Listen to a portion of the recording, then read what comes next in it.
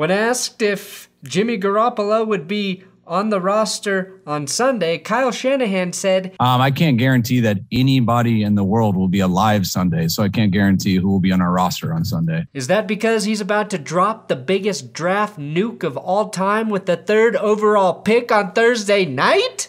The 49ers select linebacker Micah Parsons, Penn State.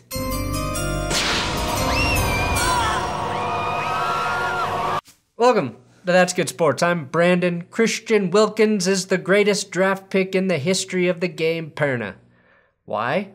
Because he's the only man who had the balls to try and put Roger Goodell on IR. The draft is quickly approaching, and we're trying to figure out what's a smokescreen, what's a fire, and what's so outlandish and stupid that the Raiders will definitely try to pull it off. Make sure you watch the draft with us here on YouTube Thursday night. Will Keys and I will be streaming the entire draft. Today, though, I want to talk about the Julio Jones trade, the 49ers' mystery shrouded third overall pick, and another surprising retirement. That's good sports.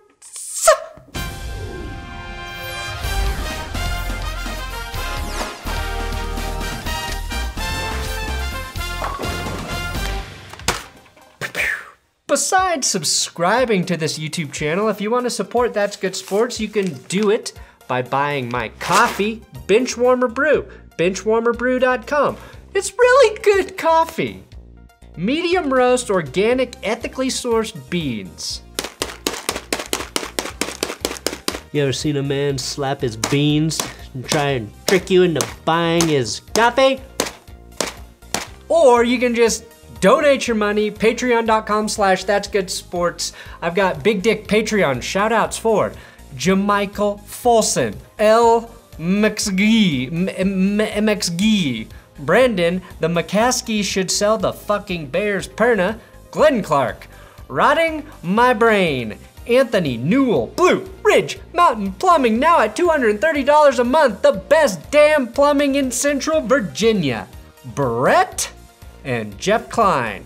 Now on Patreon for all $10 a month donors, every month we do a Zoom call, a group chat where we just shoot the shit. That might come in the first week of May this month because the draft's kind of screwing that up for me. So heads up guys, that's what's happening.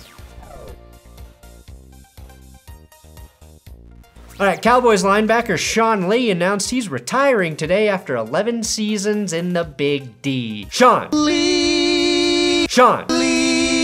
Sean. Lee. Sean. Lee. That's right, Lee, Lee, Lee, Lee, fucking Lee is retiring. We're talking fucking Sean. Lee.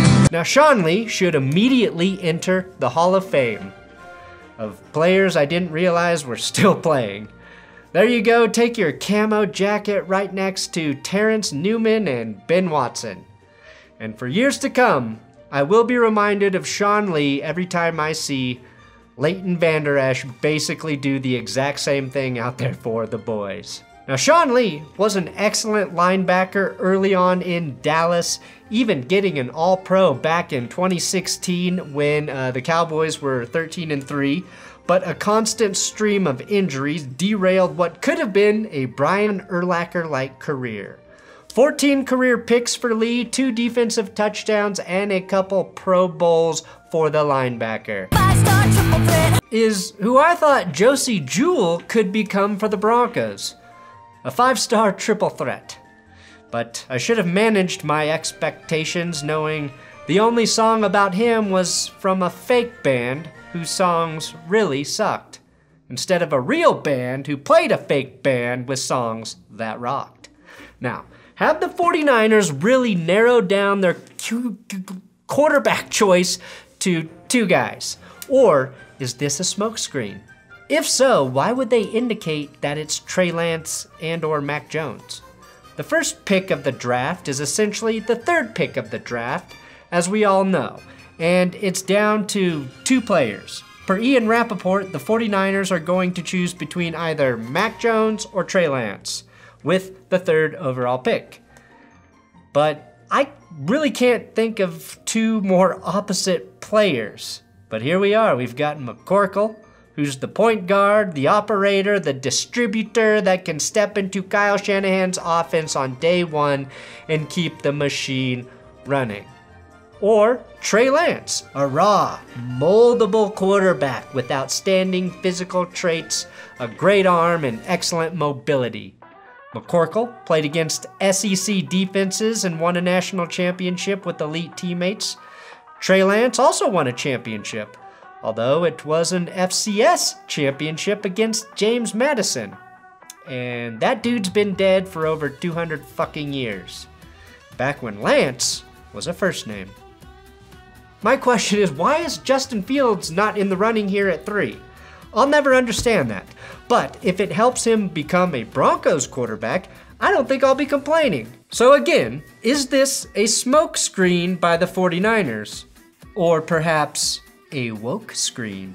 Are the 49ers pretending they're going to take Mac Jones over Justin Fields to make the rest of the NFL come to terms with their racial biases when it comes to the quarterback position?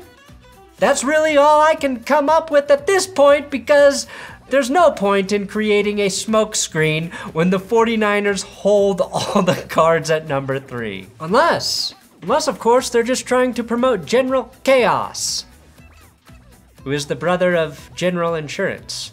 And it's why that company does so well. If General Chaos is the case, I'm going to need someone to Photoshop Joker makeup onto Kyle Shanahan and John Lynch in this beautiful photo. After the we could all be dead by Sunday comments, I think these guys thrive on chaos.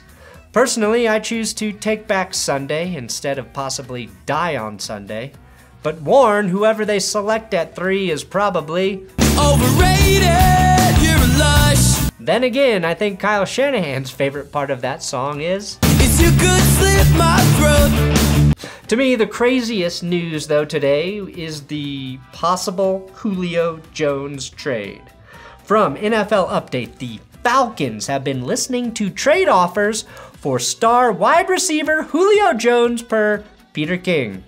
And Albert Breer. Atlanta has one of the worst cap situations in the league, and trading Julio effectively after June 1st would create 15 million in cap space and save the Falcons from the big dead cap hit for 2022.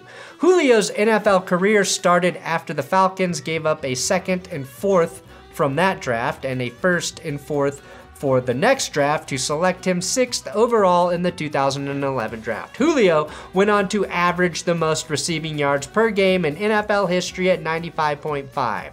Now they're trying to agree to trade him again during the draft, this time to save money. Julio is heading into his 11th season, had six straight thousand plus yard receiving seasons until he got hurt this last year.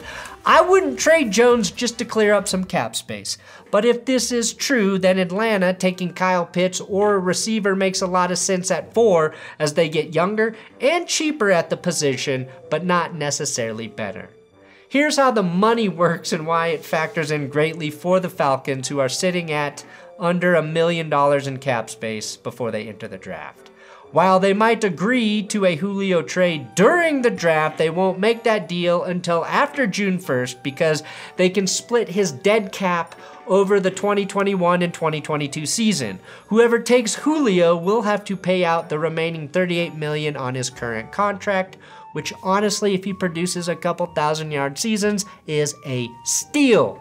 The fact that they still have to fit their entire draft class under the cap is another argument for why it makes sense for the Falcons to actually trade back and acquire uh, more picks this year and next year. So the question is, who could use Julio Jones? Besides every fucking team in the league! Well, we can rule out one obvious suspect, the 49ers. Even though I'm sure Kyle Shanahan would love to reunite with me and Julio down by the schoolyard. Boom. That's our fourth musical reference in this episode. Hence, the title. now, San Francisco already gave up too many picks to move up to three. That's why they won't go after Julio. So, how about a team that's about to draft a young quarterback and could gift that QB with his new best friend in the passing game? If I'm the Jets, It makes a lot of sense to deal a couple picks to give Zach Wilson an instant elite target. There's also the Dolphins who have the ammo to do anything, anything, possibly even draft Ja'Marr Chase or Kyle Pitts or DeVonta Smith and send a pick over for Julio. Then they'd be stacked at the position. Personally, uh, if it's not Matty Ice tossing Julio the rock, there's really only one QB on earth I want to see dialing it in with Julio, and that is Aaron Rodgers. I'll take Aaron Rodgers, Julio Jones, Davante Adams, and Big Bob Tonyan versus any defense on earth. Now, the Packers are apparently working on a contract extension with Aaron Rodgers, so maybe they could dump Jordan Love off to the Falcons and just wait for the world to stop making fun of them for that horrendous draft pick. If anyone can understand that type of ridicule, it is Atlanta. Now, the team Peter King mentioned for a Julio trade was the Patriots, and of course, probably besides Tampa Bay or Kansas City, that would be the most cursed destination for Julio Jones to land. Julio deserves to be somewhere a little more lively and colorful, not bland, dark New England. If I was a Falcons fan, I can't think of a more insulting trade. The team that tore my heart out is now going to get one of the greatest Falcons of all time. I don't think so. Patriots fans are so obsessed with a non Hall of Fame wide receiver that they probably would throw a fit if Julio tried to wear number 11 in New England. It uh, was also mentioned today that the Patriots are trying to move into the top 10 for a QB.